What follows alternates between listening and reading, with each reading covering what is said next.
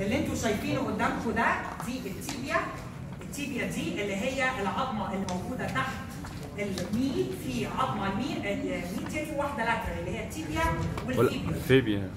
اللي هم موجودين بعد ال femur وال knee joint tibia و fibula.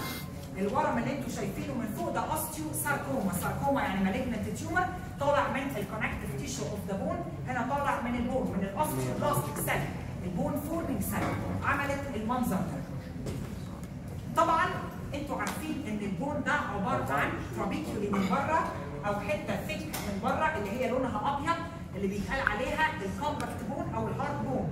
ومن جوه بيبقى ال soft part أو ال spongy part اللي هو بيبقى معدي فيه ال bone marrow فنظرا لوجود الخلايا السرطانية ال malignant osteoblast اللي عاملة ال malignancy عملت infiltration لل periosteum، ال periosteum ده الغشاء الخارجي بتاع ال bone فبيسموه elevation of the periosteum.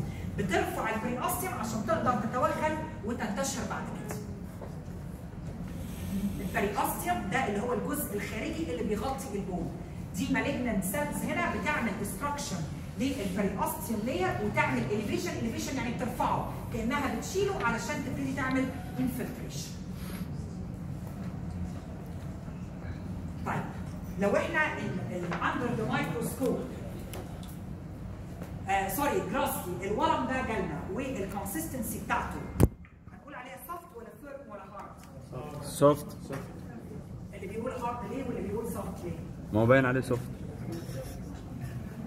آه طبعا ده sarcoma sarcoma يعني connective tissue tumor فده بيبقى soft to firm ليه consistency ما بيبقاش hard أنا مكان مشينا مهندس المستشفى ليه؟ لأنه ده connective tissue يعني في بقى blood vessels وطبعا وارد قوي إن يبقى في حتت necrotic الحتت السوداء اللي أنتم شايفينها دي. ال necrosis ده طبعا بيبقى نتيجة لل malignant infiltration لل blood vessels ففي الدم بيتمنع وصوله عن بعض الحتت ويحصل نيكروسس اتفضلوا مفيش ريفيجن